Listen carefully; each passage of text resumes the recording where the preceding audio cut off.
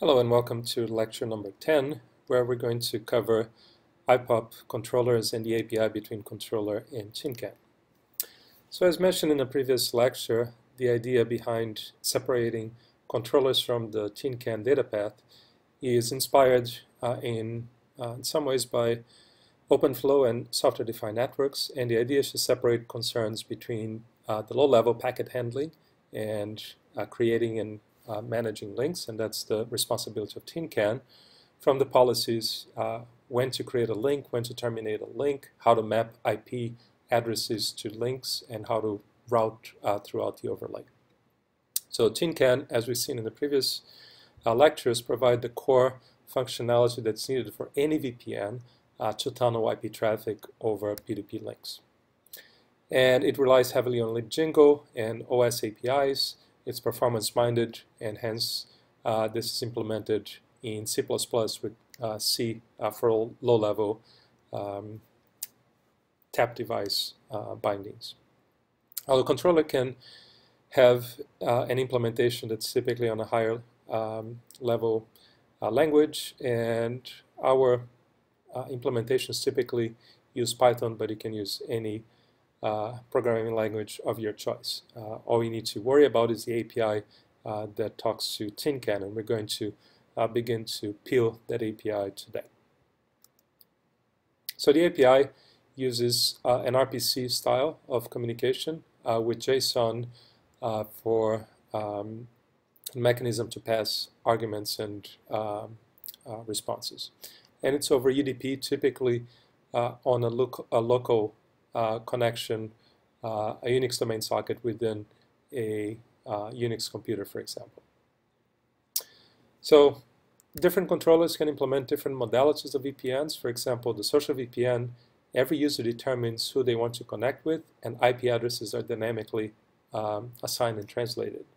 Whereas group VPN, it's a different modality where you have a group owner who decides who joins the group, and then every user in the group uh, connects to every other user in the group by just establishing a relationship with the owner. You don't have to establish n-square relationships with every uh, user in the system.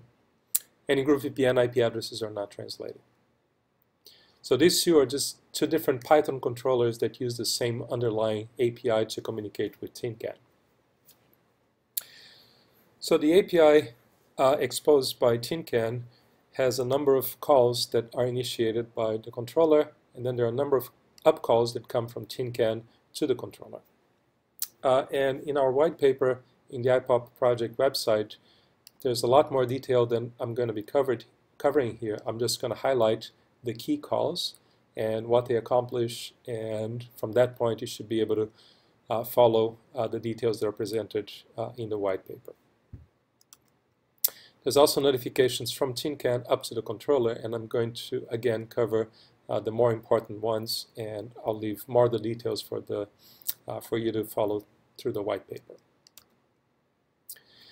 So here's one uh, first call, and that comes from the controller down to TinCan, and this registers what social network TinCan is going to use for interactions. At this point, uh, it's XMPP. You could conceivably uh, come up with other online social network backends that don't follow the XMPP protocol, but currently this is what we uh, enable. So this allows the controller to configure TinCan uh, with what XMPP uh, service you use for notifications and for user um, uh, for creation of new links. Another API call lets the controller establish a callback endpoint for any notifications uh, coming from TinCan up to the controller. So this is an endpoint IP port uh, that basically the TinCan uh, process can send messages to and the controller will receive and handle them. So the controller has a server running to a UDP server running on this IP port to listen to uh, callbacks from TinCan. Uh, set local IP, the controller uh, establishes what is the user ID of the IPOP node that's running uh, locally and also what's the IP address that uh, the local uh, IPOP node should use and network mask as well. So that's done once for the node that's running.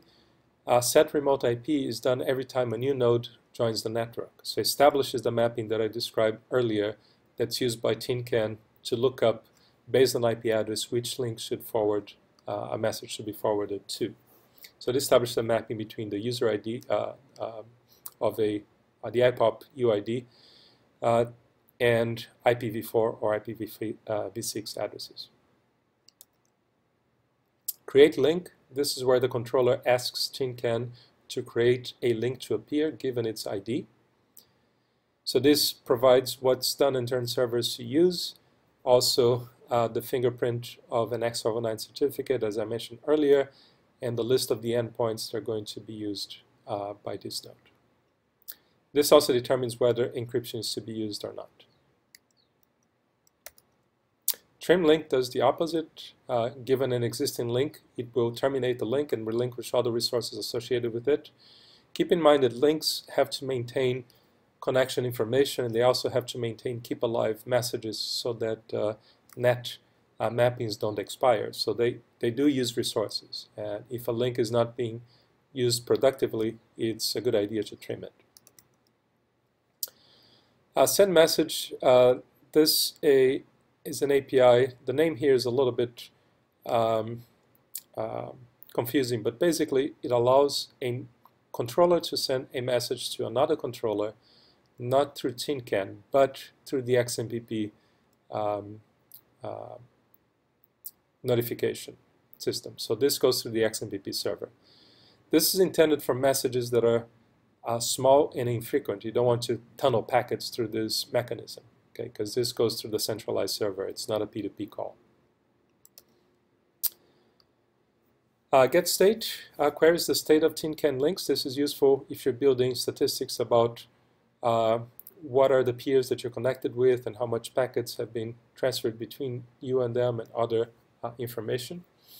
So this re requests state and it results in a number of calls that come back from uh, TINCAN up to the controller uh, the local state for the local node, and then peer state for every peer uh, the node is connected to. So this come up from TINCAN to the controller to the uh, callback uh, endpoint that I mentioned earlier. Uh, local state will provide what is the ID, uh, IPv4, IPv6 addresses, and the fingerprint of the node. Peer 6 will also tell about every peer that you're connected with what is the status? Is it online, offline? Uh, is security being used?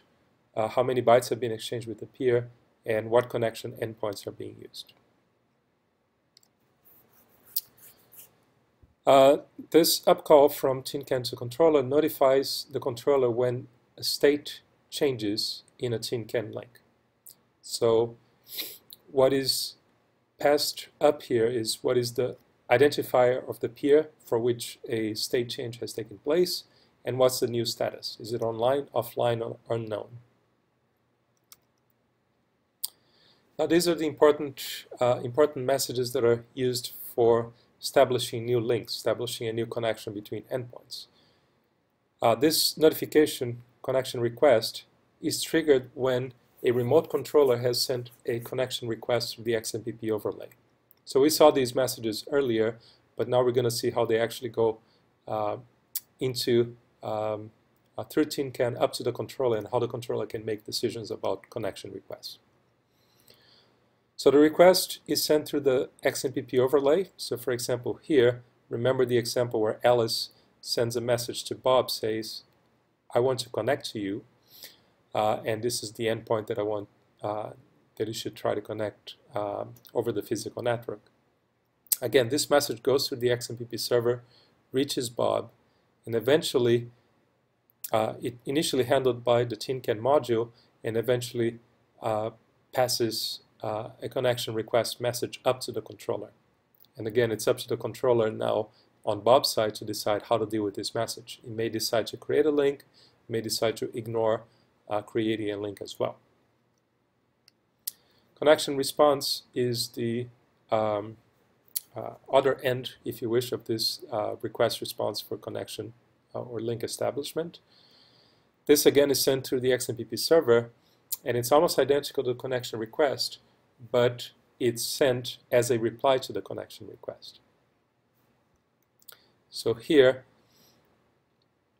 when Bob, uh, when Alice sent a message to Bob, if Bob replies to Alice saying that, yes, I want to connect with you, this is a connection response. It comes again through the XMPP server, goes to Alice, and now goes up to the controller as a connection response notification.